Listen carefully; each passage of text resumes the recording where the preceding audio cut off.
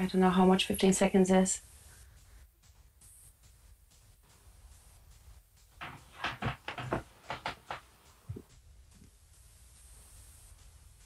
No to chyba, chyba już minęło 15 sekund. E, dzień dobry Państwu, ja się nazywam Agazano. E, dzisiaj naszymi gościniami na tym panelu, który, który właśnie zaczynamy, będą trzy wspaniałe pisarki, z, które pracowały przy i pisały opowiadania dla zbioru Niepoprawna Mnogość, e, zbiór opowiadań wydany przez wydawnictwo Pauza w tym roku.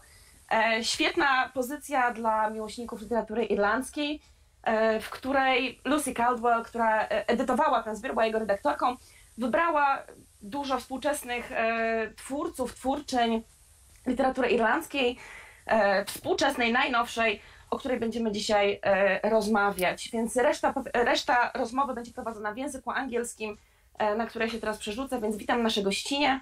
I would like to welcome our lovely guests uh, who will be talking about today about their latest short story collection um, in Polish called Niepoprawna Mnogość. Um, so our guests are Lucy Caldwell, who was an editor of this um, of this um, collection, a writer, playwright, short story writer, um, will be published in Poland for the first time next year, translated by yours truly. Jan Carson, uh, also writer, novelist. Um, uh, she wrote one short story for um, our collection, the, the short story called Pillars, um, in Polish Filary. Uh, and Yan Ge, uh, who is also a lit- an artist, a writer, novelist. She wrote, she's a very prolific writer, mostly writing in Chinese, but since recently also in English. She wrote the first story from our um, collection uh, called Jak zakochałam się w dobrze udokumentowanym życiu Aleksandra Wilana. Uh, I will give the story in, in Polish. So the English title was How I Fell in Love in the Well Documented Life of Alexander Whelan. Um, so, ladies, welcome. Thank you so much for joining us today.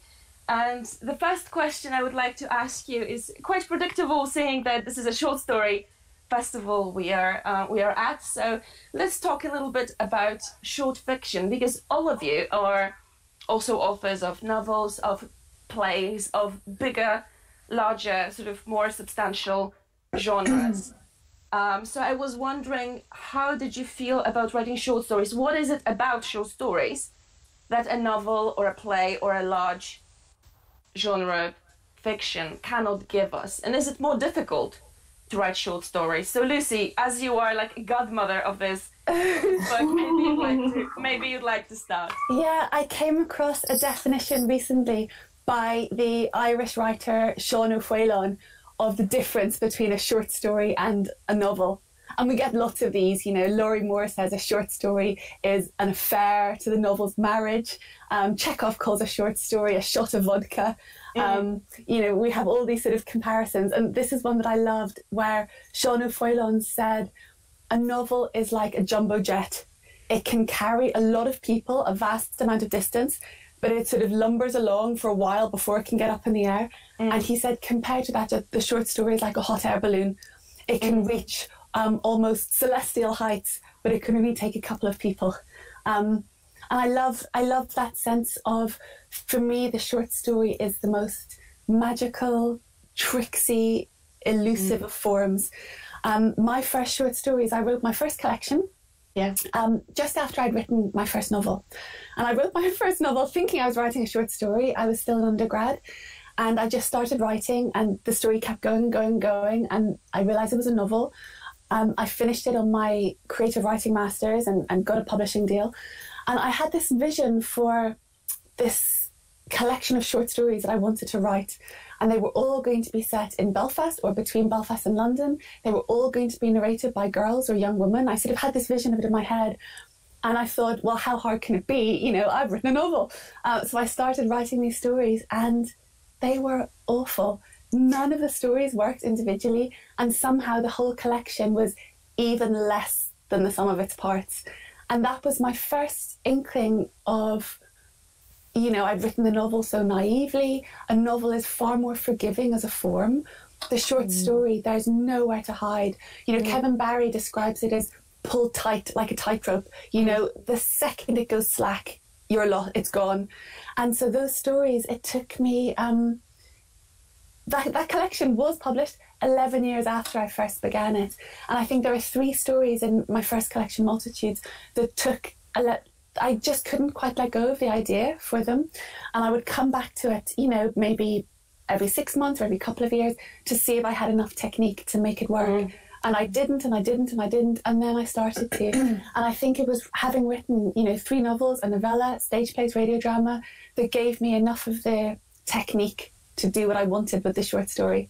So I think, yeah, the short story, I love the short story form. It's magical, but I think it's very, very hard, very hard to write a good one.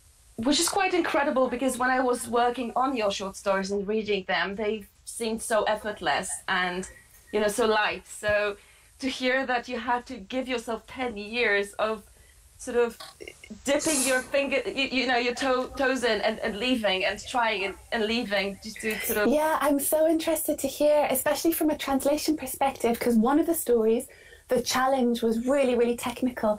It was a story that's written in the second person, mm-hmm. which is you, you know, you do this, yeah, you yeah. do that. And also it's written in the future tense. Mm-hmm. And then it slips into the future perfect tense.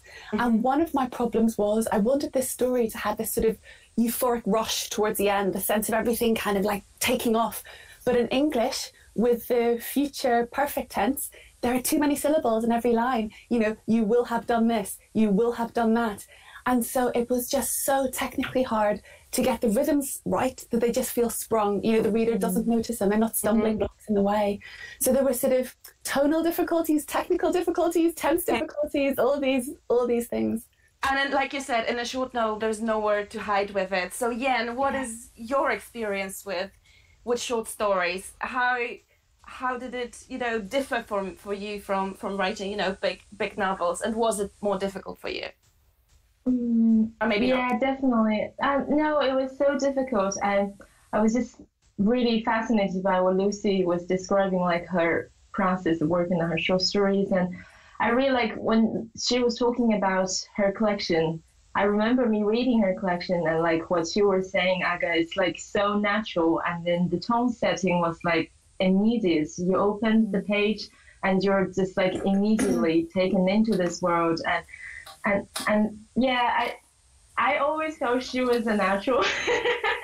and I don't know if it's like um, if it's you know in, in, some ways like a relief to hear that she also struggled, and and I think I definitely struggle and I'm um, so like um, first when I was writing in Chinese and I've been writing in Chinese for many years and and I began to write when I was very young. I think similarly to Lucy and.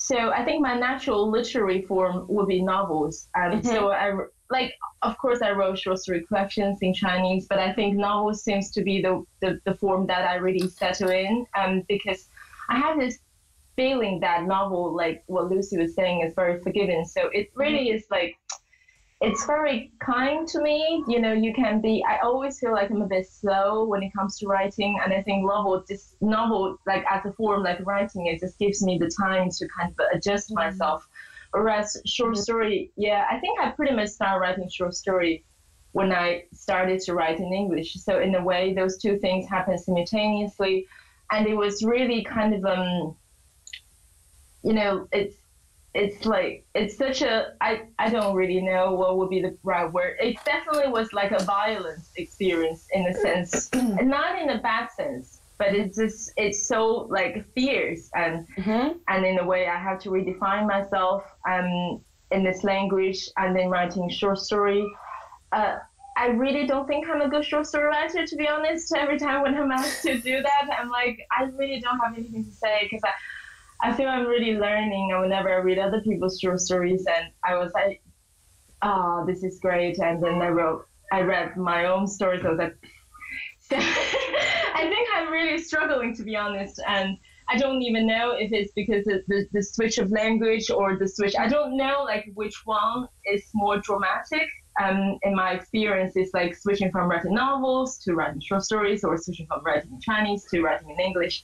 Mm-hmm. And my feeling is, I think short story is full of rejections. Um, it does it's it because it's it's so tight and it and you know like like I think novel in a way it embraces you. It's sort of a you can really kind of enjoy like reading a novel. That sense mm-hmm. of like relaxation, and you don't get that uh, with short stories. I think I do get, get the sense of yeah, you don't get to feel being comfortable. And I think both as a writer, like when you write short story, you have mm-hmm. this sense of being rejected by the story all the time. It, mm-hmm. it just tries to run away from you, or like it doesn't reveal to you what it is. Whereas with novel, you know, often you work on it for a rather long time, so it became really like your partner. It feels very kind of mundane and comfortable to be working on this project.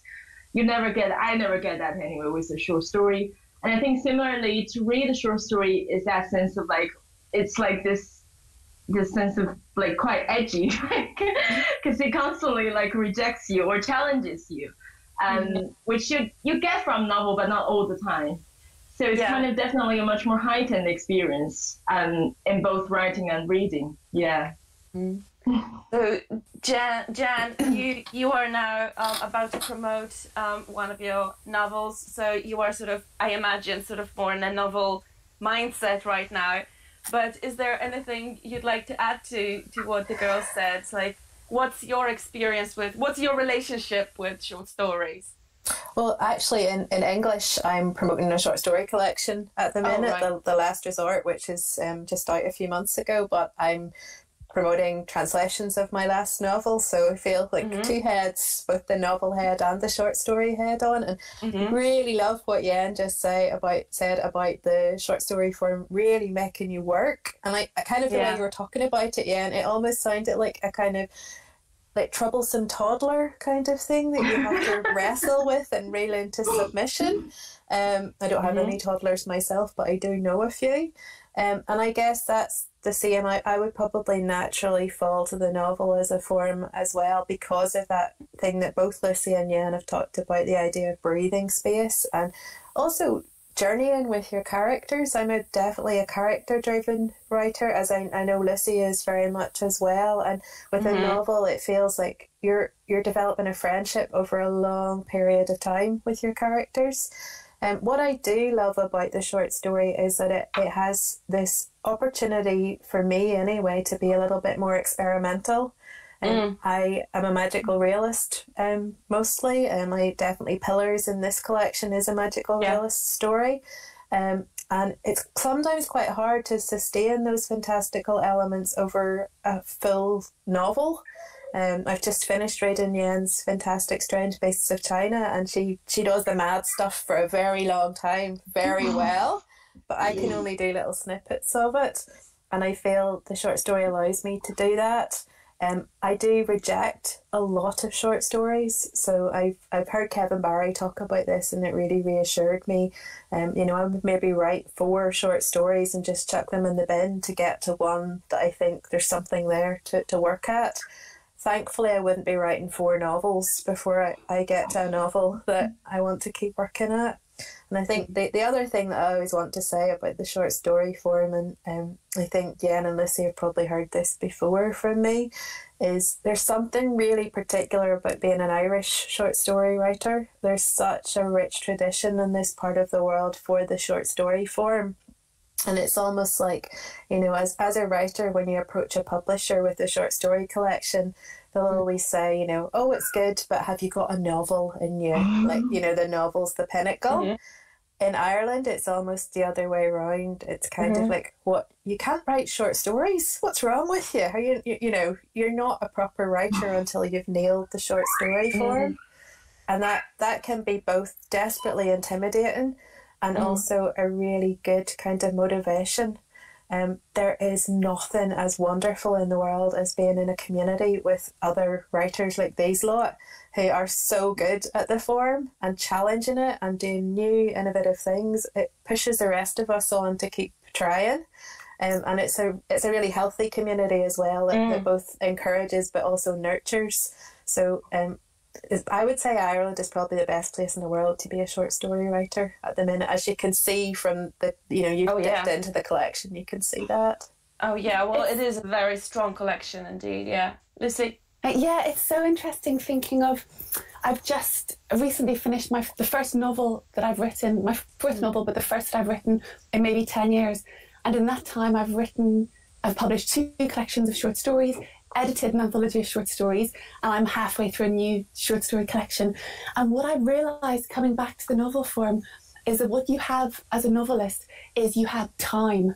Um, you know, the novel is the great medium of time. Things can unfold. As Jan says, the way you talk about character, Jan, you know, you have, you can show that transformation, you can show the passage of time. Um, not that short story, I don't subscribe to the view necessarily that the short story is just, you know, a glimpse or a shard or a fragment. Because mm-hmm. I think you look at some short stories like um, Alice Munro, you know, you look at like The Bear Went Over the Mountain, or you look at a Chekhov short story and they pack in so much, you know, they, a mm. whole life. And But yet there's mm-hmm. something, and I think it's to do with pitch, that a short story you cannot write a novel at the pitch of a short story. You know, there's something heightened, there's something more akin to poetry or more akin to a play. And if you wrote a novel at the at the pitch of a short story, it just wouldn't work. You know, a novel needs to a novel needs to be a novel needs to be slower, a novel needs to be more modulated. All the things that would make a short story feel baggy, a novel needs that, I think. And I think um, that a short story, things, you know, as Jan said, you can it's far easier to have a short story in the second person or in the future tense or with magic realist elements. And in a novel, it's much harder for a short story or uh, in a novel, a novel needs to. A novel can't be on the fence. you know, in yeah. a short story, like in a play, something can be both things at once. It can be yeah. ghost and memory and neither. You know, if you see what I mean. But in a in a novel, it feels that your choices need to be more earthbound. I think. Yeah, that's uh, that's very very beautifully put, and that's sort of something that I was thinking about it too. And we've touched on a lot of other topics that um, I would like to discuss with you today. So since that was the last thing that we spoke of, uh, I was just thinking. Um, in your introduction, Lucy, you wrote that Ireland is now um, going through like the golden age of literature and golden age of writing, which is a bold claim coming from you know the nation uh, that gave birth, you know, Joyce and Yeats and so on. Uh, but I can I can agree with that. But I would like to I would like to hear you say a bit more about that because you know what's so different from um, how we sorry just a second Jan would it be possible for you to switch off the mic I was just thinking about yeah, that yeah. So what I was thinking is, um, what do you think is different in today's Irish literature from how it was for the previous generation? Because in the book, you in in the in the short story collection, you chose this um, timeline time frame of um, people who debuted after 1998. So the Good Friday Agreement, the Belfast Agreement, and that is like a milestone in you know the history of Ireland and Northern Ireland and the, you know the whole um, the whole island as such. And I was wondering how do you see that change in literature? How do you see what has changed from this you know previous generation to what we have in Irish and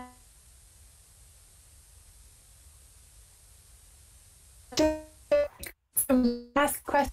Um, I think um, you know it was being it was being said that this was a golden age of Irish writing before I was editing the collection. But when I sat down to edit the collection, um, I really realised, you know, I could have I could have edited this collection three times over with a completely different array of writers. Mm-hmm. You know, there were such riches to choose from. Um, I the the decision that I made to start post Good Friday Agreement mm. um, is one. It was an instant. I thought it was an instinctive decision. You know, I thought through it a lot, but when um, I'd had these collections, this is the sixth in the series mm-hmm. of um, the Faber, um, you know, new Irish short stories, and the first four were edited by legendary editor David Marcus. And he had the idea that to make an anthology exciting, you need to have a mix of um, established and celebrated writers and brand new voices. And mm-hmm. he thought it's the energy that comes from that, that that makes a collection interesting. And then after he died, um, Faber kept on the series. They had one edited they three more one edited by Joseph O'Connor, one edited by Kevin Barry, one edited by Deirdre Madden. And um, they happened to be edited by my editor at Faber. Mm-hmm. And we had a conversation where he said, the new version there has been one published every sort of two or three years in in the, the, the history of its life. Um, but he said he didn't really know if there was room, if there was space for it anymore, because it used to be one of the only places that you would find a collection of Irish writing. Um, but since then, there are so many, you know, there's Stinging Fly, uh, there are so many little magazines. I say little, they punch far above their weight, but new magazines by small presses like mm. Banshee, like Tangerine. Um, you know, Granta does its new Irish short stories. And so he said, um, if I was to edit it, would I have a vision for it? And um, I thought about it and I realized so quickly that I very much did. And what I would have done, um, you grow up, I've got the postcard here. Um, when I published my first book deal, my sisters made me um, a card, a congratulations card. You can see, I don't know if it's mirror image in your screen, but it's the famous um, picture of Ireland's writers. And you get this. I was at a festival just before lockdown um, in a big Irish city, and you still get this postcard sold. Mm. Although there have been people have done corrective since, but you know it's like Joyce and Synge and Swift and Wilde, and they found a sort of picture of me with a kind of severe fringe and, and thick glasses and no makeup, and they Tipp-Ex my name on just kind of below Patrick Kavanagh's shoulder. um, and I'd had this on my notice board and always thought it was such a joke. But then you start thinking, okay, well, where is Edna O'Brien? You know, where is Mary Lavin? Where is Anne Enright? Where is where are all these writers that we're missing? And um, Sinead Gleeson had done a wonderful, wonderful thing a couple of years before I edited Being Various, which was she had an anthology um, called The Long Gaze Back, which was 400 years of Irish women writers. And in the promotion and the celebration for that, there was a panel of us northern writers who said, "Where's our anthology?" Like, where? Because women have long been left off any sense of an Irish writing canon. Oh yeah, and and and also, if, you, if you're a woman writer, you're aware of that. If you're a northern writer, as Jan will know, so often there are lists of Irish writers, and they don't have a single northern writer on them. Um, so if you're writing and you're and, and, it's more complicated coming from the north of Ireland, Northern Ireland, mm-hmm. you know, Ulster, because identity is more conflicted. Um, growing up, certainly, I now I hold both passports, Irish and mm-hmm. British. Um, but I, I only had a UK passport, and I wouldn't have felt that it was my right to call myself Irish growing up, even though I was from the island of Ireland. And and the Good Friday Agreement is the thing that changed everything for my generation. You know, it sort of it made plurality possible the title of this anthology in English is Being Various, and that comes from the lines from a Louis MacNeice poem that I think should be the sort of anthem of Northern Ireland. It comes from a beautiful poem called Snow, and the closing lines are I peel and portion a tangerine and spit the pips and feel the drunkenness of things being various. And the poem, it's a sort of semi mystical poem and it's a, a, metaphysical poem and it's about the possibility of being both and rather than either or. And so I wanted, I chose a Good Friday Agreement because for m- my generation, for Jan, for so many writers that I know, that was a thing that allowed you to be um, an Irish writer, um, have an Irish passport and a British passport, to be Irish in a more multiplicitous, more complex way. Um, bef- when I chose the date of the Good Friday Agreement as my cutoff, this was before Brexit. This was mm. before the Good Friday Agreement was endangered. You know, it was a kind of prescient decision, as it turns out. But I made that decision, and then the other thing that I wanted to do was, in for so much of Ireland's history, it's been a history of emigration, and one of the things that's been most striking in my generation is um, the level of immigration to Ireland. You know, people choosing to come here, coming here from from elsewhere. And I know there are stories that just aren't told. Um, a writer that I mentor is Muslim came to Belfast, outside of Belfast, as a two-year-old. Um, and you know, where is she in the canon? My son has a little friend at school whose grandmother came from what was then called British Guiana, who moved to Northern Ireland in the 1950s. You know, where is her story? So yeah. I wanted to have stories of people who had come to Ireland from elsewhere um, stories of people who were born outside of Ireland to one Irish parent, one non-Irish parent. You know, I wanted to sort of break open, kind of provocatively break open what it means to be an Irish writer. Um, so, so, that's a very long and baggy no, answer, but but there is so many, you know, identity. It's such a complex thing, and there were so many things to you know weave in, and so many balances to get in the writer that I wanted to represent. Some of the exciting things, you know, formally, creatively, yes, some of the places that the, the writing is. Oh yeah, is, no, is it's it's a gorgeous answer. Thank you so much for putting so much you know in it because you really really delivered in in you know all the aspects of what i was you know wondering and one of the things you said which i loved was about that after the good friday agreement and and nowadays ireland is of being this or that you can be this and that and you have this beautiful you know from my times living in northern ireland i think the word i used to hear most often apart from the peace process was uh, was diversity, and diversity was like the word I heard everywhere all the time, and it sort of felt like the nation itself, especially Northern Irish nation, was sort of grappling and sort of you know trying to come to terms with the idea of diversity and of being various because as you said irish and northern irish people have a long tradition and history of emigrating of leaving ireland leaving northern ireland to either Britain or to the US or to other places and being displaced in a way culturally, you know, with a heritage. But now the trend is sort of other way around, and people are sort of more coming to Northern Ireland, to Ireland, and finding their place within this culture and sort of looking for this sense of Irishness. And here we can segue very well to our next question, which is um, mm, I would like to start with Yan this time um, because I was wondering about what Lucy was saying about two things. First of all, the sense of Irishness, and um, where do you see yourself being in being in Ireland and writing about Ireland or writing, you know, sort of being in the collection of you know Irish writers, and where do you see your Irishness in in writing coming? How do you see it sort of comes into into your writing? Sorry. Sorry, that was the first thing that came up. I could have done it when I was muted. Um, Sorry.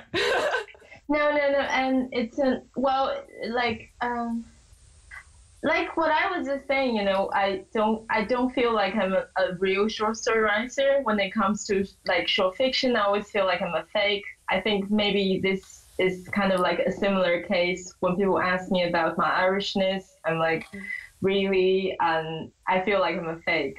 Um, but in a way, I think, well, I think when Lucy uh, wrote me the email asking me to write a story, whether it would be possible to write a story for um, this anthology, um, it was my son's first vaccination day, and I was at the GP, and he was, and my husband was there. He was crying his heart out, and because he had just gotten a shot, and I got this email, and I just couldn't believe that, and and I think the story I wrote for this anthology, um, this story with this embarrassingly long name, and it was really the only thing I did um, the first year since you know the first year during the first year of my son's life when I was being like this mm-hmm. miserable mm-hmm. new mom living in Dublin, um, and in a way I feel well obviously there's nothing about like being a mom in that story per se, but I feel it really it's a reflection, I think, of my psyche at that particular point where I really kind of struggle as a person. Like my physical being in Dublin is just like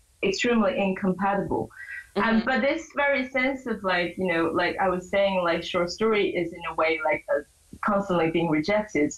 And I kind of feel maybe my experience of living in Dublin that particular year as a new mom, I think I'm being rejected um, as like you know you couldn't really settle in i think it's a lot of things not not just about me being chinese it's about like me being chinese and also me becoming a mom for the first mm. time mm. and and and then that and that's um i always felt this was such a significant thing to me that i got that email and i was invited to participate in this anthology where it seems you were given an access to say you can express yourself and whatever feeling you're you have. And and then i wrote that story.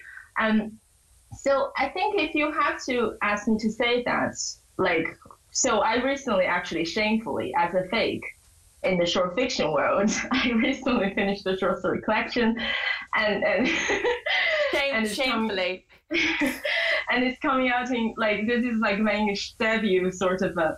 Um, so I have nine stories in that collection, and I think four of them took place in Dublin, in Ireland, and so and three of them took place in China, and there were two took place in like some other places. So I think that the composition of that the of the nine stories pretty much speaks for like how like like my being as an English writer. I think indeed that I just feel I constantly feel like a fake kind of being in this quote and being in the Irish literary circle and being so generously accepted and having this community. Um, but recently, so this is again sorry I'm just not making much sense. I went to visit a friend who's also a Chinese woman who's married to an English husband, and and so we were chatting, and then she was constantly interrupted by her husband. Maybe she asked him to do so. I didn't know. She didn't seem to be like offended or anything. This seems just to be a thing. And her husband was correcting her English all the time. And it's not like she made a grammatic mistake. It's just maybe a pronunciation. He'd stop her in the middle of the conversation and to tell her how to say it, and she said it again. And later, when I was talking to this woman who was like a literary person and a documentary director, and she was like, "Oh, I really, I wanted to try to write in English, but I think I can't really because like I know that my husband, uh, my husband." told me that um, my English is quite broken. I, I don't really have proper English. And and then that was the moment I realized I'm so lucky to have an Irish husband. and I'm so lucky to be in the Irish like literary community where this very sense of fakeness is also being really generously being accepted as a way of authenticity. And mm-hmm. I think to me, that's my Irishness. It's like, I think this whole literature, like Irish literary world, or this notion of like Irish writers, like I don't really know much about it to be honest. Mm-hmm. But I feel it's quite, it it it embraces and it accepts it accepts like all kinds of possibilities and it's i think you know people just well really like enjoys rebel against the norms of this language of language so i think that just gives me the space really. I think very fortunately i was in that place and got this invitation from lucy. And i think that space of allowing me to be playful, to be an outsider, to be uncertain, to be a fake is part of my understanding of like Irish literary circle or Irish liter- literature. And mm. and I feel like I'm so lucky and I just like purely randomly. It's not like I set out looking for an Irish husband. but I feel like I'm so lucky and I've like landed in this place in Dublin and in this part of the world and and then being sort of accepted for you know my for for being for like both as me and as outsider and as like a person who lives in Ireland mm. who has like serious bond with Ireland like all of those things I think were just mm-hmm. accepted. And and I think that was really important to me. And in a way if I can say that is my Irishness. No but it, it it does make it does make sense. It does make sense. And I was thinking also in the same in the vein of sort of Irishness and being Irish and the collection being Irish short stories and the word Irish keeps coming up and I keep thinking of Northern Ireland.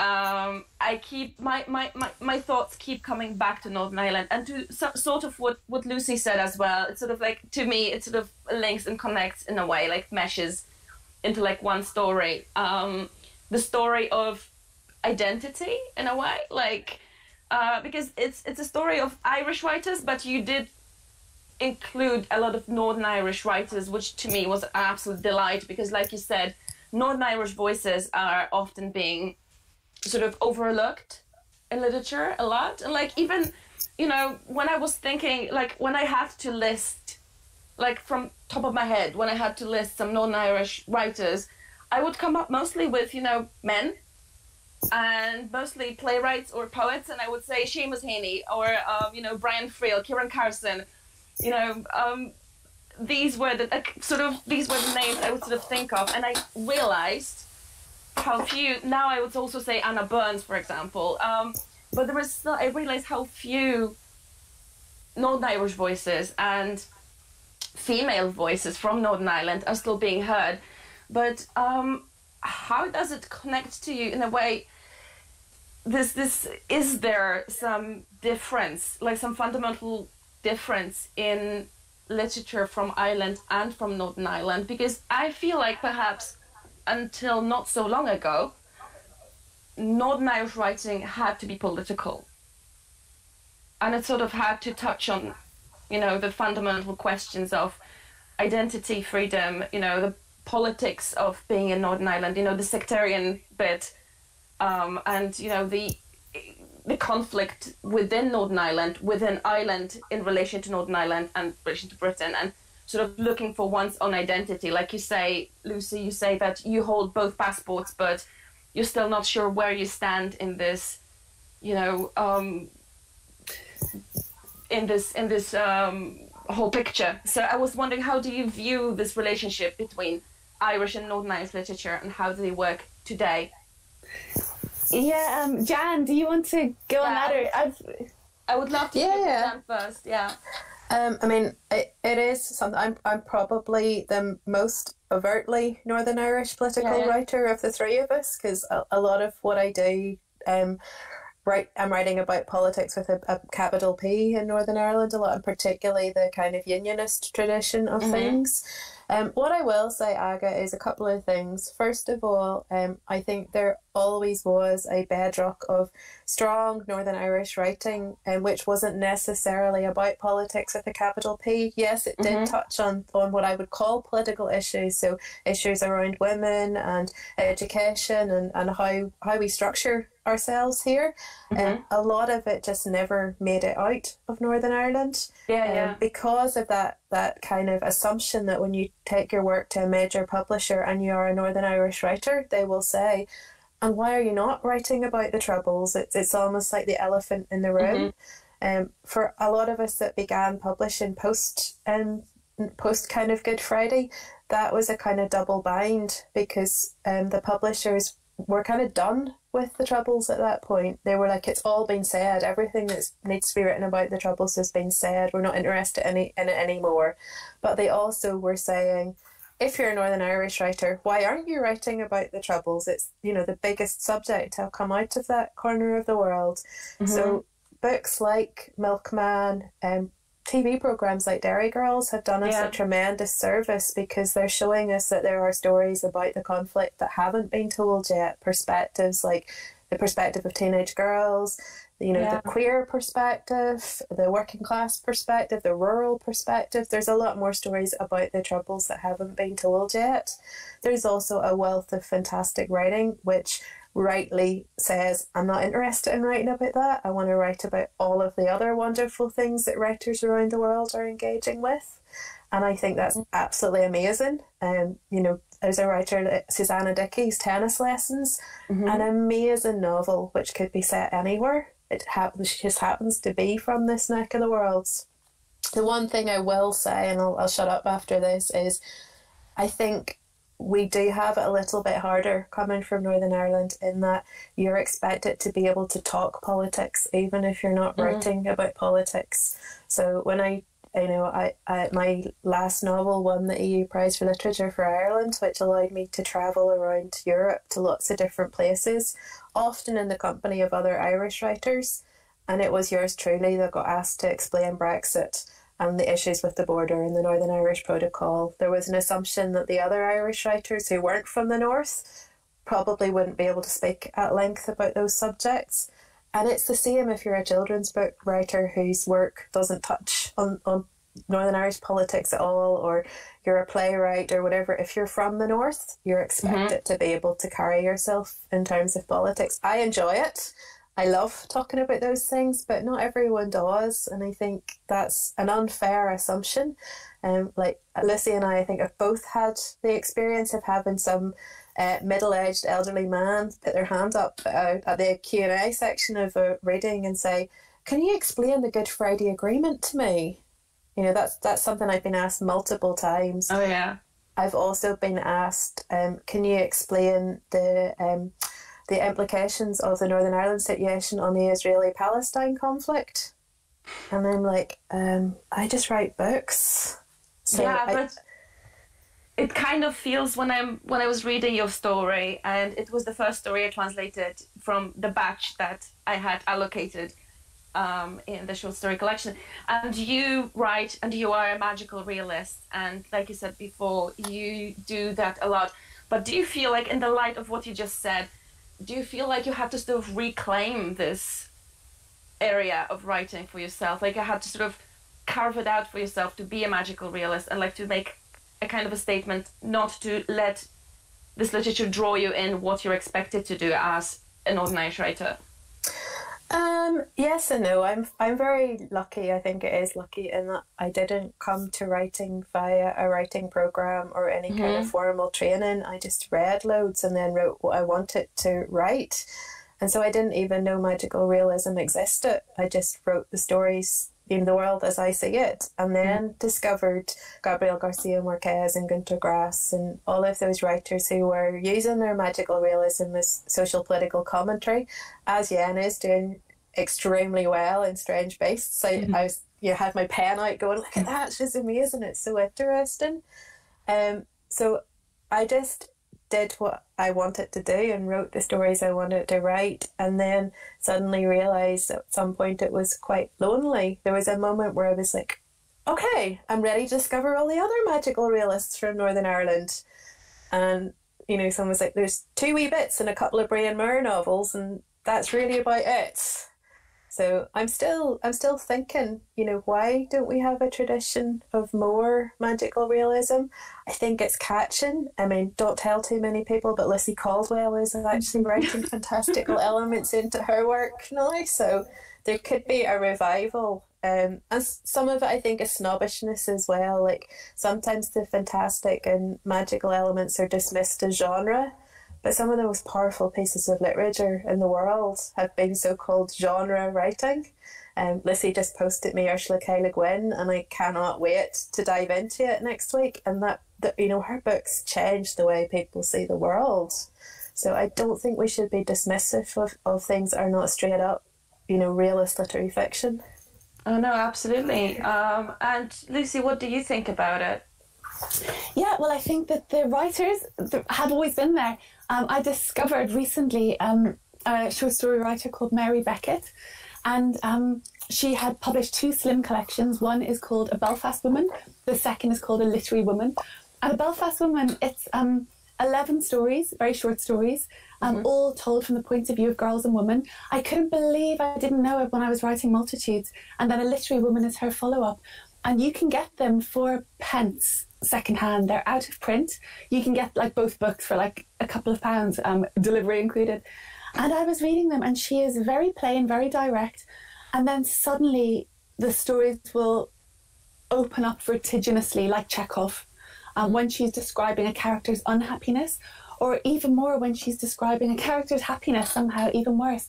And I think, you know, where, why, why have I, why has it been all these years of my writing life before I've read Mary Beckett, and where are the other where are the other writers like her who are allowed to fall into obscurity, or people don't read them, or people they're not promoted. You know, they're not seen to be telling the sort of stories that should be coming um, from a particular place.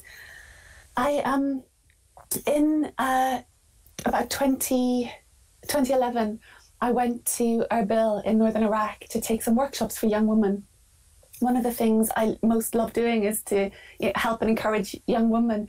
And they were saying that they felt, I remember one woman saying, one young woman saying that she felt the pressure to write about contemporary Iraq like a stone on her chest. And she mm-hmm. said it was just crushing her and crushing her breath. And I said to her, What do you want to write about? And she sort of looked at me and she said, Well, actually, I've got this, um, and it was a sort of sci fi epic and she starts describing this whole world. I mean, was like something out of Le Guin. Um, and, and then another young woman started chiming in saying she wanted to write a comedy about a primary school teacher and her unruly pupils. And then another young woman put up her hand and said, actually, the thing she would really like to write about is the fact that when she was 14, she was allowed to go to a milkshake bar um, at the end of her street to meet her friend. But the day she turned 16, her father said she was no longer allowed to go, and she couldn't understand how she had more freedoms as a 14 year old than she did as a 16 year old. And they started talking, and and I still sort of have like shivers up my spine thinking of it because you think all those stories not being told because people don't think they're the right stories or they don't think they're the stories that they're allowed to be telling. And, um, you know, those stories are just as important when you're thinking of present day Iraq. Um, you need to have stories that reflect society, maybe in a very social realist way, but you also need the fantasy stories and you need the other worlds and you need people to be writing new ways of seeing into mm. being. Um, mm-hmm. With you know, with Yan's story, I had read. You know, I had some of my heavyweights from my anthology, like I had um, Kevin Barry and I had Sally Rooney and I had Eimear McBride and and I had some of the North's best crime writers because I think that's always underrepresented and and I had a story from Jan and then I read this piece by Yan online. I think Yan, it might have even been your very first thing written in English. And there was such a spark to it. You know, it was it was unlike anything that I had read. And I kind of thought, you know, it was taking a big chance commissioning a writer that I didn't know I didn't know any more of her work. Um, very little was translated, I think, at that point into Yan, eh, at that point in English Yan. Um, but I commissioned her to write this story purely on instinct because I loved what she did in this piece. And the story that came back, I loved so much. You know, I put it as the first story in the collection because it speaks so powerfully about loneliness and displacement and exile and shame. And when we're thinking about the ways in which it's a golden age of writing in Ireland, I think one of the things that's happened in our generation, um, in in in the Republic of Ireland, there's been the um, equal marriage referendum and there's been the bodily autonomy referendum. And both of those were won hugely by the power of individual stories and people telling stories. Um, people shouldn't need to tell their story. You know, maybe you shouldn't need to bury your wounds in public, or or, or, or but but those stories were won by people who who refused silence and who refused shame. And I think that's something that's happening mm-hmm. as well when you look at essay collections by, you know, Sinead Gleeson, Emilie Pine, people writing the female body, people writing experiences that might have been thought of as shameful, you know, people mm-hmm. writing motherhood. When I first when I started writing my short stories, there was very little fiction about motherhood. You know, this is only like, you know, seven, eight years ago before I was pregnant. I really couldn't find much Anne Enright wrote a brilliant collection of non-fiction called Making Babies. There was very little fiction about motherhood and new motherhood. And so the more you read writers writing things like that, the more it becomes possible for you to write things like that. Um, you know, and Jan says about magic realism, um, you know, I've been teaching a seminar on Northern Irish magic realism, um, Jan and Roisin O'Donnell and how it works and Marquez um, for a couple of years. And um, and partly having children myself, you know, revisiting some of the books I loved as a child, which have magical elements, um, I find myself writing, you know, a, sort of magic or magic realist element creeping into my writing, and part of that comes from from you know reading Pillars with students and saying, okay, so how does it work? And how, how and when do you introduce a magical realist element? Mm-hmm. And how do you deploy humor to deflect from the shock and all the, you know, you take something more technically and then you think, okay, I'm going to give that a go. And so that's the other way in which this is a really exciting time for Irish writing because you see what other people are doing and you you you learn from them and you you have the benefit of what they've discovered. Mm-hmm. Um, and I find it so interesting that Yan um, Yan's story was translated back into Chinese, not by her. And um, your editor Yan didn't believe it was you, did she? It was such a different voice. It was such a different energy. Um, you know that's that's really exciting as well. The the the influences that you you observe, and of course, you know, mine aren't just Irish, um, but there is there is a lot happening very quickly. I think in Irish fiction at the moment, which makes it an exciting time mm-hmm. to be mm-hmm. writing. And it's it's also what you said that it, it it's kind of interesting what you said, um, how it's reflected with the reception of of the short story collection because I was of course I was reading a lot of reviews in Polish and and how it was received. And not only um, the stories by Yan and Jan are continuously coming up as the favorites, the reader favorites, and I'm not just saying it Um, it's actually true. Like you both are like on the top of the favorites.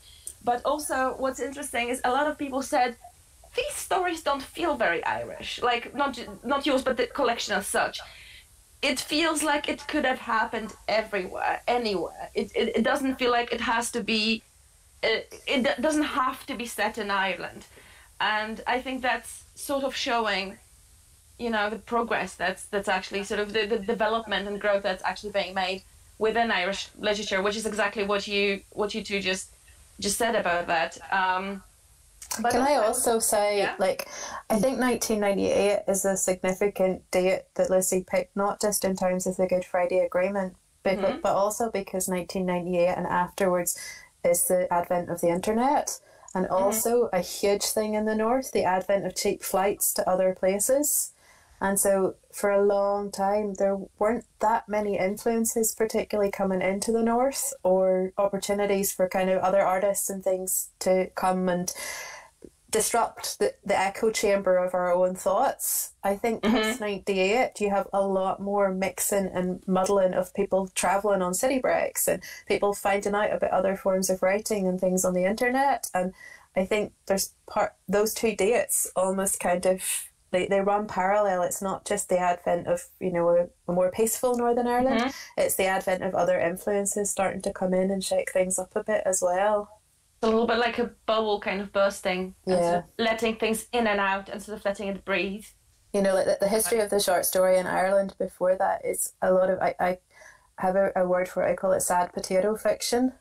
And there's a, a lot of kind of. Sorry, I couldn't be. La- I shouldn't be laughing at that. well, you know, if when I say the phrase "sad potato fiction," you know exactly what kind yeah. of Irish literature like I'm talking mm. about. Yeah. And 1998 kind of burst the bubble on sad potato fiction. Mm-hmm. There's a wee bit of it still rocking about, and but there's a lot of other different forms as well. Oh yeah, absolutely. And um, from what you said, Lucy, from what Lucy said about Yan's um, short story, I would like to sort of follow up on that because um, Lucy said about your novel that when it was sent, translated back to um, to a Chinese publisher, they said that it feels like it's a different voice and it's a different kind of a different writer. They didn't couldn't believe it was yours, and I think uh, you already know what I'm going to ask you. How does it feel to be writing in two languages, and do you feel that when you write in English, does it sort of hold you back, or does it open up new possibilities for you? How does it feel to be writing? In this other language. Do you, do you feel it's mm. different for you? Yeah, definitely. Obviously, like the answer is um, yes, and it does feel quite different. And I think um, I think first when I began to write in English, which I really like had resisted for so long at that point because I was like sort of living in English for so long, um, but I had insisted that and Chinese had to be my literary language. So mm. I had insisted that I, you know, although I use English um, on a day-to-day basis, although I read in, in English, like etc., but like this has to be preserved for like only Chinese. Mm. It's my literary world because I think that it's just something beyond the using of the language. Is the changing of your identity. Um, but yeah, like I sort of like insisted until one point and I think it was the story Lucy was mentioning too. She read that um, it was um, published in the Irish Times, and um, it's like this story came to me. I wanted to write about this thing, but it could only take. Um, it could only happen in English. It's like every character, the thing people would say to one another, like everything. It would just be in English, and so then I I tried and then I wrote it in English. And then pretty much I think at the early point of me writing in English, um, I select my material and I only write stories that came to me naturally, like like similarly to Alex the story and being various. Um, it's a story that can only um, happen in English because it, yeah. it, happens not like geographically in Dublin. So, um, so I think um, in that sense, at that point, I think I was extremely like sort of blissful in like having just discovered this new tool and a new identity and or maybe new voice. And I was doing a different interview with a Chinese uh, reporter, and I said, "This is almost like me writing English. It's me resolving my uh, mid-age crisis as a Chinese writer." And it's like you know it's like when you have your mid-age crisis you go to i don't know to do a boot job or to buy your like sports car and for me it's like i have to try to write in english um, it's like this new thing so it was really exciting for so long i think including when i was um, when I was living in Dublin and writing this story for being various, I think that was definitely like the honeymoon phase. Mm. And in which like of course, there were like restraints, like, you know, uh, write in your second language. But, you know, that doesn't really, uh, you know, what, what is more important and dominant at that point is this ecstasy of like discovering this new thing. Um, but then very quickly, I think then, like when I came to England, I'm in Norwich mainly because I came here to do a writing program. So when you're like in the creative writing program and then you start to write in English more seriously, not in a kind of like dipping my toes in it that in that way. And I think it had definitely I was I was using this this word and during a different event I, I think it definitely has um, radicalized me in a way I think it does make me think you know me writing in English is not an accident. Me speaking in English is not an accident. It's a post-colonial phenomenon where people from other parts of the world and we're using this language to narrate, but not to, we shouldn't be narrating the, the experience the English readers expect. We should be narrating the experience that we should really, what we should do is to disrupt and interrupt both the stories and then the language itself in a way. So, so I think, and then that really got me thinking, I think, in a way, and then, and then it became quite painful to write in English. because because I, I was thinking a lot. I was thinking about you know it's not about just have fun. It's about it's about what what do you want to do with yourself? What do you want to do like as a writer? What is this the significance of this like to you? And do you want to you know it's like and then you realize it's not about to write in this language. It's about you're writing towards a different readership. And this readership is tricky. It's what they call the you know the the English reader. it's like the most vicious concept.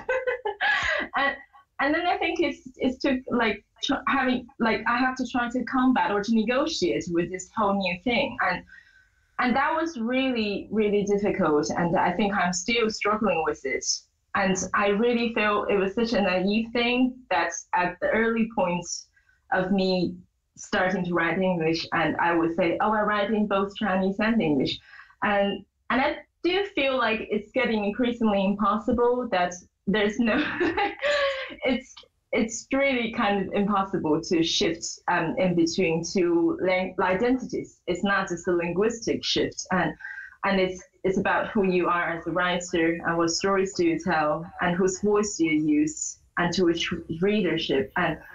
Uh, but at the same time, I do feel it has made me more political actually the words. And jane was saying i think literature is political. There's no way. And like what lucy was saying is literature amplifies the you know the voices from the voiceless.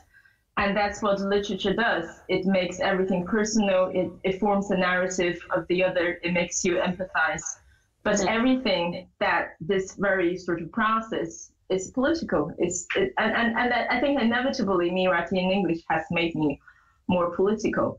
Um, and I don't really know if it's a good thing or bad thing because I think back now thinking about me only writing in Chinese at that point, I feel was such a nice and relaxing and innocent time where I just where you're like a monolingual speaker, you're you're writing towards your people. And whatever problem, issues, conflicts you have is within you know, your house. It's like having a fight with your parents. And now it's really different. And I'm in somebody else's house and I'm trying to do something and mm-hmm. maybe to, you know, to try to reshape the house without uh, completely break the house down, if that makes sense. So yeah, I think it, it is very different, but but um, I cannot say I'm enjoying it, but I, I don't regret doing it.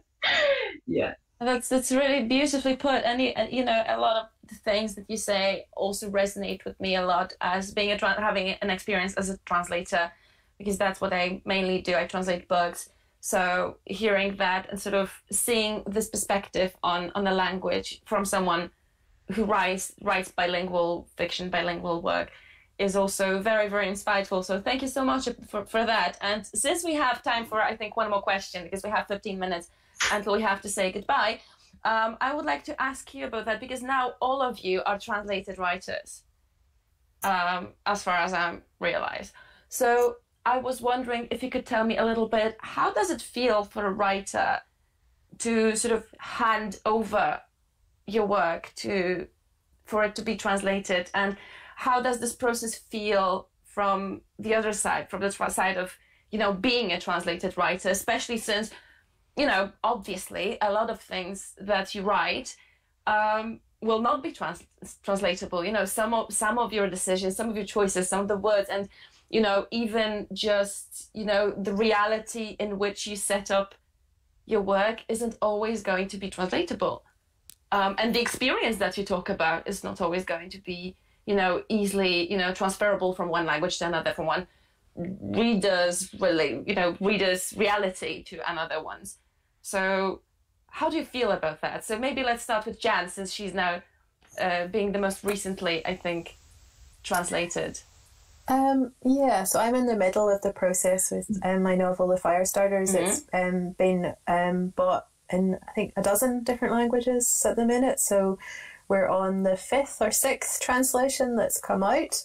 Um, and I guess um, it's been a really flattering kind of process. Um, I, I I'm not desperately precious about my work. I really love it when when I get to collaborate with other artists. And um, my take on a translation is that it's a new art form. It's it's it's different and it's unique from what I I wrote.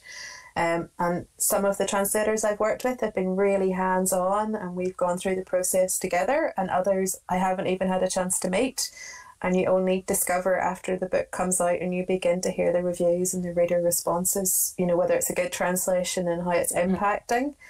It, it is desperately, desperately heartening to get messages back from readers in other countries in different languages who are responding and resonating with this wee bit of the world and the stories that I've written about it. So I think that's been the most positive thing about it.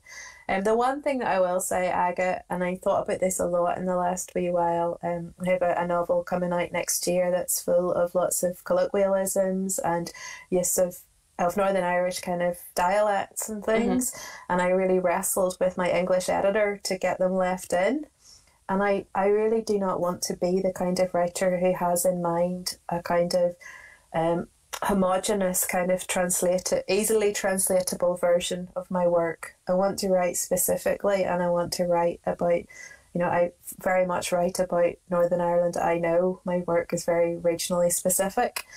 And i think we need to stop apologizing for that. Um, i think milkman really taught me lots of lessons. Anna oh, yeah. is absolutely unapologetic about how she uses language in that book and it's so beautifully done and it's so recognizably Northern Irish. And there are no points where she puts in kind of post notes, this means this, or, you know, we explaining why the, the, the conversation and the dialogue is structured the way it is. She just does it. And I had a lovely experience of being in Jaipur in India mm-hmm. and hearing from readers out there how much they love Milkman and how interested they were in Ardoyne in Belfast because of that book, which doesn't make any excuses for its language. And I think we just need to stop doing wee footnotes at the bottom, like this is a, a thing that people in, in Northern Ireland say, or this yeah. is a regional food. Other writers don't do that from around the world. And from talking to translators, I hope I'm not speaking on behalf of you guys, but they really relish the challenge of taking oh, slightly yeah. difficult, complex pieces of language and finding ways to make it relevant. So, yeah, I, I think we need to stop dumbing down and just write what you want to write. End thank you so thank you so much for saying that. And yeah, I can confirm that translating things like, you know, Northern Irish speech or, you know, um, any kind of Belfast vernacular, to me personally, I, let, I relish in that. And, you know, it always also takes a lot of effort sometimes to sort of push some solutions through yeah. um, the publishing process, and I have to fight for it. But um, you know, I do hear what you say, and that's really really crucial. And even though it can be hard to um, to translate and to show this in the language. I think it's really, really important. So thank you for not moderating your work and thank you for not, you know, like you said, dumbing it down for, for this, you know, f- for the global market or whatever. Mm. So, so that's amazing. And Lucy, what would you like to, to add to it? Yeah, I sometimes think, you know, people say, who are you writing for? Yeah. And I always think I'm writing for the handful of people, you know, maybe the one or two people to whom this will make a difference. And maybe they haven't even been born yet. you know, maybe they'll stumble across a copy of the book in 200 years' time and it'll seem to speak to them. And one of the things I love is when, and I have quite a bit of it in intimacies, when, you know, when I quote a poet like MacNeice or Frank O'Hara or, or Plath or um, uh, Szymborska or Milosz or Keats, um, when there's that sense that time accordions away and two souls can still touch through this amazing technology that is the book that, that transports you in time, that transports you in place. It's a portal through. And so I think that that's that's all you can know, that's all you can hope for, that your words will still speak to someone in another time through a different language.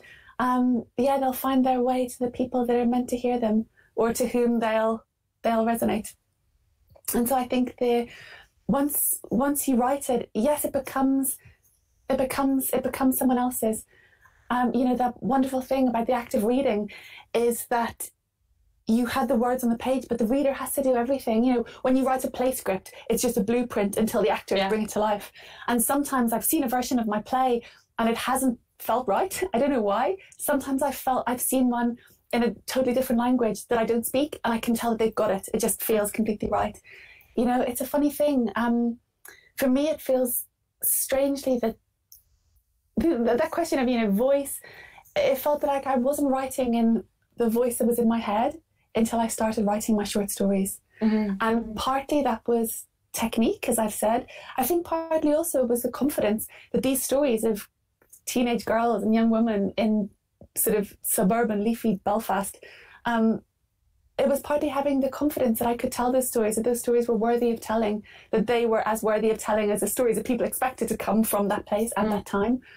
And so something something happened there that since it was partly politics, partly confidence, partly technique, but something happened that I felt I started writing in my own voice then. And I've only recently begun to be translated and I don't know if there's something about that, that, that confidence or that surety or something that is translatable. Um, you know, when maybe when maybe other stuff stuff isn't. So so yeah, I I I don't know. I get that I some of my translators like Jan have have had lots of very specific questions. Others yeah. haven't had a word. I'm happy with however the person whose work it is now mm. um, wants and needs to work. Cool. And how and how it is about about you, Yan? Because you've been translated both ways, funnily enough. So yeah, yeah. I was just um, well, um, I think I think being translated, particularly into English, because um, obviously, like as a Chinese writer, I think, um, and then I do kind of work with, in particular, my English translators because I obviously don't know any other languages and in a very kind of intimate way. And so they would sometimes send me, well, it depends, but like, you know, they could send me their first draft and they'll add notes and then they'll hate me and I'll hate them for a while and then it, because it's I wish, like I wish I could say I do not relate. But it, it is quite of a, it, it, the process itself, I think it's quite painstaking. Um, yeah. So, I mean, and, and I, I absolutely think all the translators are just superheroes because although I do speak like you know two languages and theoretically, but I really cannot translate. I don't know why, and and I feel it's like it's such a smart game, and I just couldn't somehow even begin to master. So I really think they're all superheroes. And I, I feel very strange, like Jan was saying, like my um, book, uh, Strange Beasts of China, which is also being translated into Polish and so I've been receiving questions. But like that book I wrote uh, 16 years ago, and so it's kind of very strange. I think it was via translate translators, and that this book now being revised in like in English and soon mm. in Polish, and and and I'm, I'm really really grateful that the translators somehow like decide to spend their precious time and energy on this project I did many many years ago. Maybe me like I think if it wasn't for the translation of uh, like those translations, I wouldn't really be paying so much attention to this old work of mine. Um, but it really has brought back so much energy to me this process. Mm-hmm. And like similarly, I would have I worked with two girls who translated two of my English short stories into Chinese.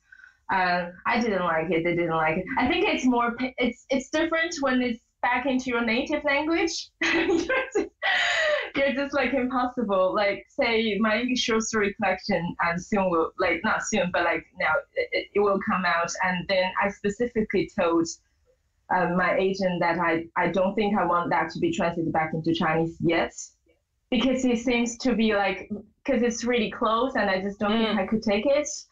Um, yeah, so I'm not really, I, I don't really know what's the solution for that one. Like, but and like the other way around, I think I'm enjoying it enormously and really like grateful to all the translators yeah. actually who's really working on that. well, oh, that's that's a very interesting perspective too. And ladies, I could easily spend another two hours talking to you all because all you say is just so entertaining and fascinating, and you know it's I'm having so much fun, and I hope as our, our listeners. But um, we're running out of time, so all that's left for is for me to say thank you so so much for joining us today, for taking part in um, in this festival, and for finding the time to talk to us. So thank you, thank you so much. Thank you, Aga. Thank, thank you, Milka. Thank, thank you, Thank, thank you so much. So good to see all of you. It's really nice. Thanks.